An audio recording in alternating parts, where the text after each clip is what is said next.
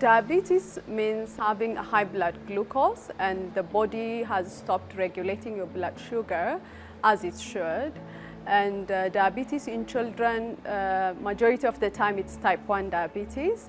It's mainly due to autoimmune destruction of uh, your pancreatic beta cells.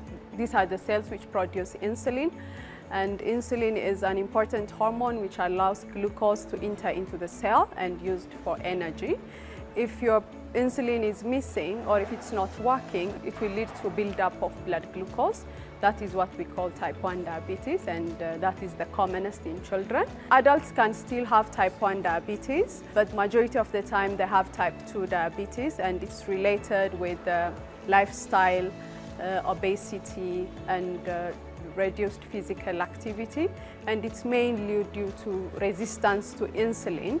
They're producing insulin but the body has stopped responding to it but adults can also get type 1 diabetes. The cause of diabetes in children is a combination of genetic predisposition combined with environmental factors. Uh, what exactly triggers the disease is unknown, but through different research, some viral infections like mumps, rubella, uh, even influenza virus can actually trigger the disease onset.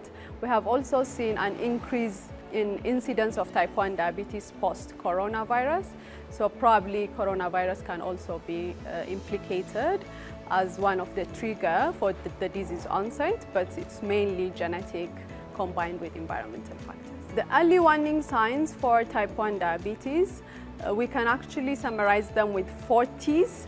T means the child is becoming thinner, more thirsty, getting tired and going to the toilet frequently.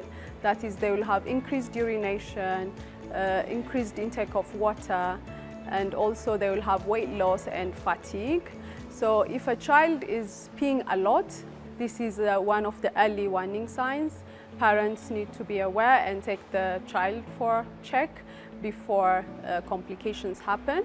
Some children, they also present with blurring of visions, uh, frequent infections, or wound taking too long to heal.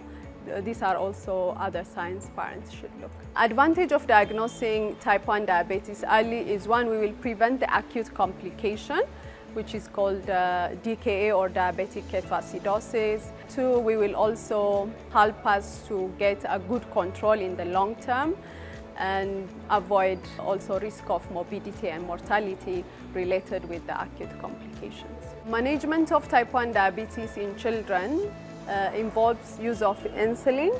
As of now, there is no cure for type 1 diabetes and children need to use insulin lifelong. The management component involves balancing your dose of insulin with your activity level and diet. There is no uh, diabetic diet in children. They can have their usual diet. What they need to do is they need to count the uh, grams of carbohydrate in the food and match it with the insulin, which the doctor usually gives them an instruction on how to do it and they are educated. And as you know, children are in active phase of growth. There is change in puberty, so that needs a frequent monitoring and follow-up with their uh, pediatric endocrinologist. Type 1 diabetes is not preventable uh, because it's not related with any lifestyle factors.